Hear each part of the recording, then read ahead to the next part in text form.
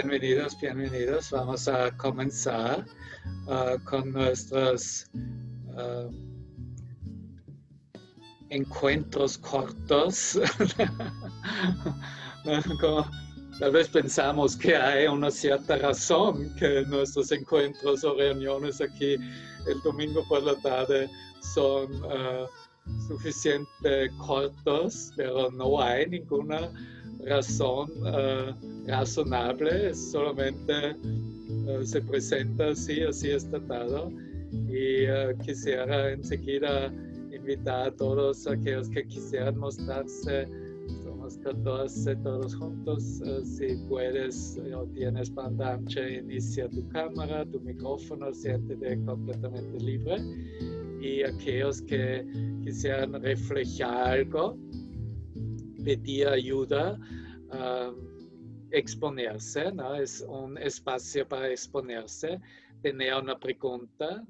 Compartir algo que está entregado al Espíritu Santo para una respuesta. Entonces, eso es ahora un momento para ti. So, bienvenidos.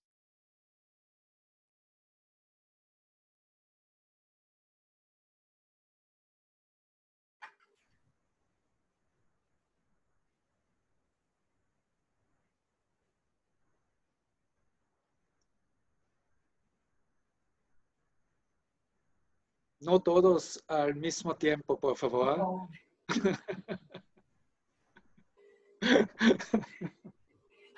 Yo, yo, es una pregunta, pero no sé qué tan mm, boba sea o no, pero has repetido en las últimas sesiones mucho lo del coronavirus, que pues que se supone que todos estamos, eh, pues entendemos la no veracidad o la no. Entonces no entendí hoy que hablabas algo de la vacuna, es, es, no estar en contra o o en, contra o a favor o no sé qué, sino siempre estar neutral ante, ante la noticia que pueda llegar o ante la... No, no, no, hoy cuando hablaste no, no pude captar bien a qué te referías de eso, o sea, estar en la neutralidad eh, por encima de cualquier cosa que se imponga, en, ¿qué es eso? Bueno, uh, sí, quisiera repetirlo también para aquellos que no estaban presentes en, en, la clase, pero está en el archivo también de la luz que hay en ti en Spreaker. Um, pero de lo que, um, lo que quería compartir es la idea uh, que comienzan a discutir, particularmente ahora ya comienza en Europa, en algunos países, porque la discusión es cuánto habrá una vacuna que será obligatorio tomarlo, ¿no? tenerlo, ¿no? que significaría el gobierno decidiría todos tienen que estar vacunados, ¿ya? Vacunado. Uh -huh. Y nadie puede elegir. O tal vez van a decir, uh, bueno, puedes uh, negarlo, pero tal vez entonces no te dejamos viajar. ¿Ah? So, uh, yo no es, tal como también hice el énfasis, no estamos aquí para sí. resolver esta discusión al nivel conceptual donde el ego compara y comienza a proteger sus libertades. ¿no? Como casi en todos los países hay ciertas leyes que protegen um, una cierta libertad básica del, uh, del ser, ¿no? del individuo. Si hay una vacunación obligatoria, estas libertades, libertades individuales parecen amenazadas. Eso está a la mesa y va a estar a la mesa particularmente una vez que tenemos una vacuna, ¿no? pero ya ahora comienzan. En las esquinas de, los, de la conspiración ya dicen, ya está todo uh, decidido y ta, ta, ta, ta, ¿no? no me interesa tampoco. Yo quiero usar esta pregunta a mirar qué es lo que estoy protegiendo, porque allá está mi elección. Si me pongo al, al nivel del miedo o al nivel del Espíritu Santo. ¿no? Al nivel del miedo se va a mostrarse como una protección del cuerpo, de la identidad corporal. Si yo digo, eso es mi cuerpo, yo no te permito aplicar una, una vacuna, ¿ya? De hecho, estoy protegiendo un concepto egoico. Sigue siendo, decimos, eso es el, el, mayor valor que tenemos, nuestra libertad individual. Pero yo digo, ojalá, porque estás tentado y el ego te ofrece a defender tu libertad individual la verdad es, no hay libertad individual aquí en, en tiempo-espacio. Es una ilusión total. Y como vemos, hay libertades individuales. En cada país, país hay diferentes normas, ¿no? que es normal o aceptado. Por eso tenemos la, el guía y la guiada del cielo. ¿no? Por eso nos entregamos y buscamos esta unidad con el Padre. ¿no?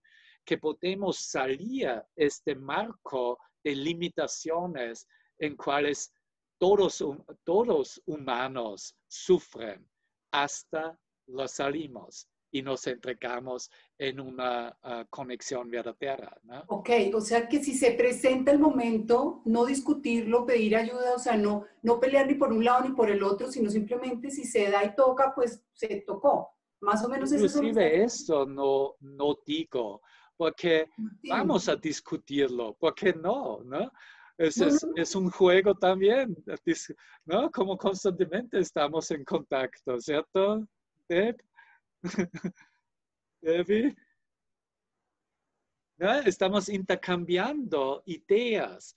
Eso es una discusión o alguien entra a ti y quiere decirte algo o quiere una respuesta de ti. De hecho, ya estamos en una discusión.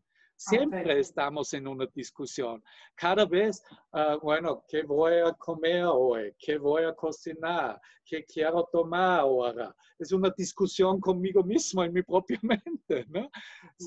no digo no discutir, sino digo no da valor al contenido de la discusión, sino reconocer el contenido de la discusión es ilusoria. Reconocer que el contenido que el ego fabrica o nos ofrece, no más, no más queremos evaluar.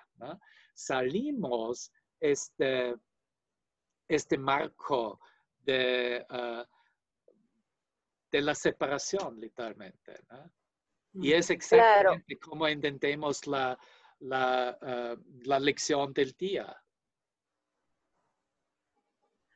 Yo quiero compartir algo, Deva a mí me pasó que cuando en Venezuela se estaba, viajaba uno a raspar la, tarjeta, como decía, a mí me dijeron, no, tenés que ponerte la vacuna, que pues si no, no te dejan, no te dejan pasar si no te pones la vacuna. No, una vacuna ahí de una tarjeta que te da.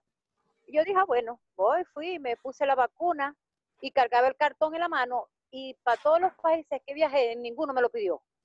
O sea, nunca me resistía que no me pusieran vacuna, que si me pusieran, que si era verdad, que si era mentira, ¿no? Yo dije, bueno, si no me van a dejar viajar, vamos a ponérmela. No, y hasta el sol de hoy nunca me lo han pedido. El cartón ese, nunca, nunca. O sea, que no me resistí, pues, de que no, que yo no soy un cuerpo, que no sé si eso es lo que se está queriendo decir. De que de ponerse en contra o en favor, a favor, ¿no? Si me la tengo que poner, me la pongo. Si no me la tengo que poner, no me la pongo.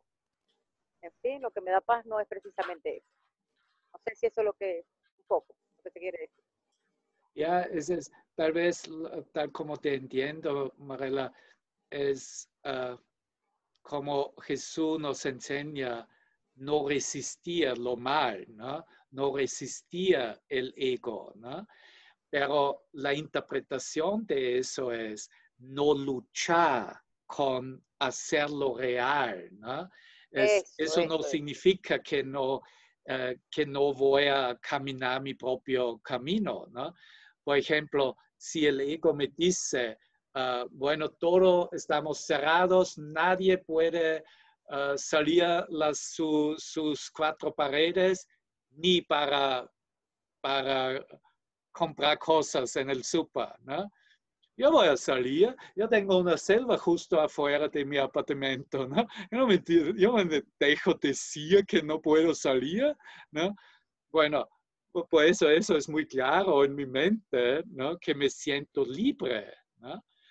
Y uh, también en el reflejo y también tengo básicamente una aceptación de, porque tengo entendimiento que es necesario para no infectar a alguien otro, entonces, tal como aparece en mi mente es, uh, ya uh, uh, en Wisconsin, porque los estados eligen sus, sus reglas. En Wisconsin es totalmente la responsabilidad de la gente. Claro que hay la instrucción y restricción de la distancia, lo que no fue necesario ha cerrado, pero no, no, la gente de Wisconsin toman esta, uh, esta decisión, ¿no? Si quieren salir o no salir. Sí, lo que digo es, cuando no luchamos contra eso, pero también uh, aceptamos que aquel quien hace la última decisión no es mi gobernador afuera, soy yo eres tú, somos nosotros individualmente. Y eso hace el cambio o nos permite ver que no hay intermedios o vínculos, sino es un directo contacto entre nosotros y nuestro Padre. Y allá recibimos la claridad que una situación necesita. ¿Entiendes? Si tal vez la situación va a agravarse para muchos de nosotros, pero tú personalmente como yo personalmente vamos a elegir si queremos representar y demostrar una posición del miedo y luchar contra una ilusión aparentemente afuera de nosotros para demostrar, yo necesito esta libertad porque es nada más que una clara declaración. Uh, ok, uh, señor ego, uh, acuerdo, también soy, soy un cuerpo, también soy mortal. ¿no? Es la elección, sea, sea carne, ¿ya? carnal o espíritu, espiritual. Y cada uno de nosotros toma esta decisión. Y todo va a suceder exactamente donde nos posicionamos y en cuál, en cuál posición um, nos representamos, nos mostramos, nos enseñamos. ¿Entiendes? Nada está equivocado o pecador, ¿no? Si te gusta representar uh, la posición carnal, debajo está el miedo. Entonces, simplemente tienes un montón de transformación esperando en ti. No está equivocado, es solamente lento. Si ya repasamos lo que nos está ofrecido de Jesús mismo, podemos ahorrar tiempo y podemos decir, ok, uh, yo no me acuerdo con nada de esto porque yo acepto que el ser humano, la mente humana es libre. Y también es libre en tiempo-espacio, ¿no? Es ah, nuestra voluntad en la alineación y aceptación de la voluntad de Dios. También es así, hemos compartido el otro, el otro día. También nuestra voluntad se haga, es, uh, pero no puedo, no podemos expresarnos en oposiciones. Eso es la enseñanza. Uh, si, si, nos encontramos en una lucha de, de diferentes uh, partidos, ¿no? nosotros también estamos perdidos. No hay salvación si estamos en una posición que tiene una contraposición, porque está el nivel del ego. ¿Estamos de acuerdo? Sí. Completamente. Bueno, ¿alguien tiene otra pregunta o algo completamente diferente?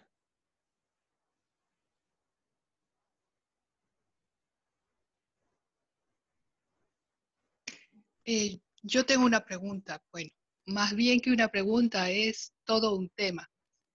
No puedo dejar de creer que mis pensamientos son falsos. Sobre todo en cuestión de enfermedad de otra persona que no sea yo. Tengo pensamientos que me asustan demasiado. Entonces, no, por más que tengo entrenamiento, no puedo superar esa parte. ¿Cómo me puedes ayudar? Gracias, Oxana.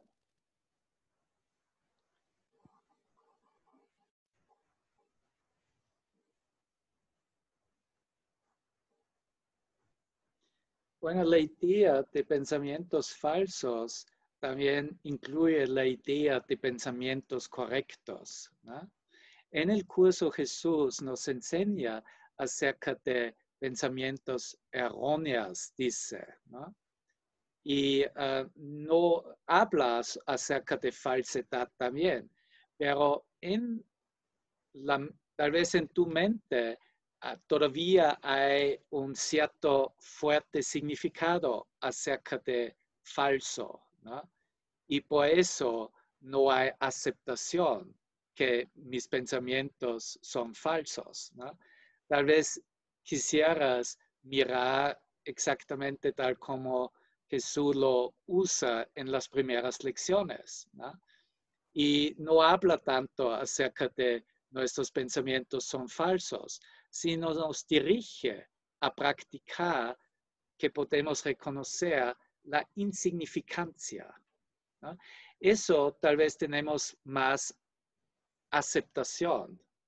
Si veo que mis pensamientos temporales y son temporales y, um, por ejemplo, hablan acerca de una situación temporal o una situación que se cambia constantemente. Es, estoy más cerca a aceptar, bueno, qué es el significado de mi expresión o de mis pensamientos, ¿no? Y así con más y más práctica se pone más aceptable que mis pensamientos no tienen ningún significado, en vez que decir mis pensamientos son falsos, ¿no?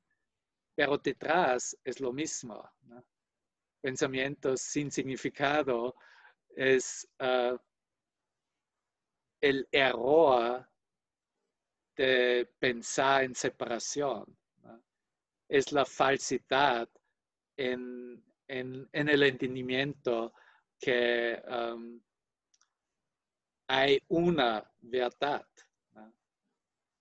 Pero si todavía lo que buscamos es salir los opuestos. Si, si tienes una falsidad versus una verdad, quieres salir estos dos niveles o dos opuestos. Pero aprender que todas nuestras perspectivas de percepción, interpretaciones, que significa que utilizo experiencias del pasado y aprender que toda esta parte no tiene ningún significado, eso podemos aprender, ¿no? Porque la práctica y con todos los ejemplos, tal como primero nos muestra, mira alrededor de, de tu cuarto. Y entonces identifica las diferentes cosas y primero proyecta o, vincula que estas cosas no significan nada. Y entonces, más y más avanzado, nos muestra que todos nuestros pensamientos que no se dirigen a Dios, que no se entregan hacia la verdad, no tiene ningún significado. Todos nuestros pensamientos. No sé si eso te ayuda o... Em, hay momentos en que sé que solamente quedándome con las dos primeras lecciones, o sea, dejando de practicar las demás, porque lo he hecho por muchos, muchos años. Es como que supiera que eso es lo que tengo que hacer, pero hasta ahora no me decido. a quedarme con solo dos lecciones, la primera y la segunda. Porque en realidad este es mi tema. Tengo miedo a volver a sufrir, sobre todo esa parte de, la enfermedad. Y a veces se vuelve muy fuerte, o sea. bueno, tal vez como, eso como que fuera paranoica, así. Okay. Así, a veces me siento como que fuera realmente como que estuviera atrapada. Bueno, eso es una indicación que tu experiencia en la unicidad con Dios, en la unidad con Dios, no está bien fortalecido. ¿no? Y, por eso, si, si tú sientes o experimentas una uh, profundidad en tu experiencia, en tu conexión. Entonces no tienes estas preocupaciones o estos miedos. La mente no piensa, uh, hmm, cómo uh, voy a regresar a mi sufrimiento, a mi dolor, si estamos entregados en total luz. ¿Ves? Pero si hay dudas, si, si la luz no está experimentado suficientemente fuerte, entonces sí, la, uh, estos pensamientos van a subir de nuevo porque eso es la herencia del pasado.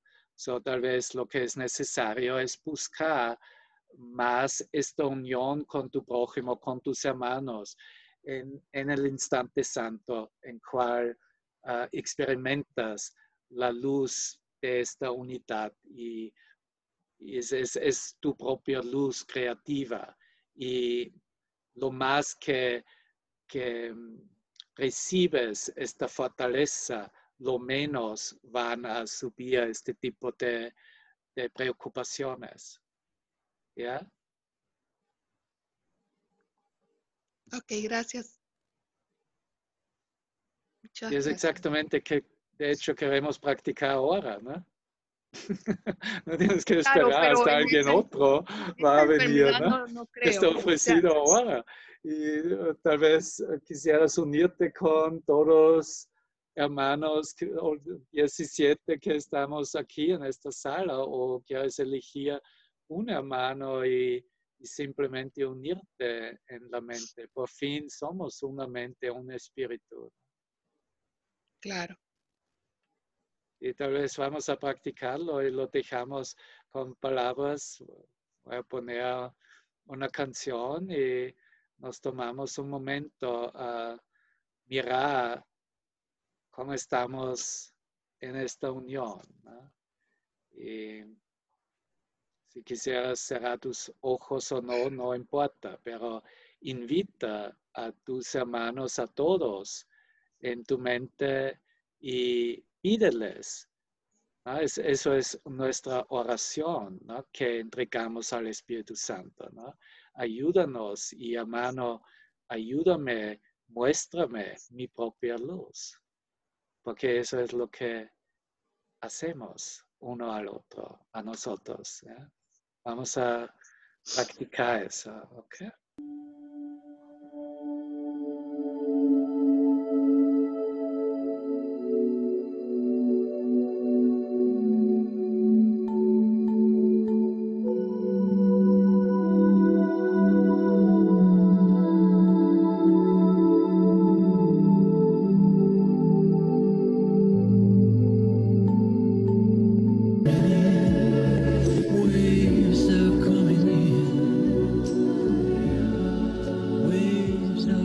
¿ok? muchas gracias. Nuestro tiempo acaba y estamos en esta frecuencia y fortalecemos el contacto con nuestro creador y entre nosotros. Gracias. Espero que nos veremos el próximo domingo. ¿eh? Te amo. Gracias. Muchas gracias. Gracias. Bye. Gracias, Deb. Feliz domingo de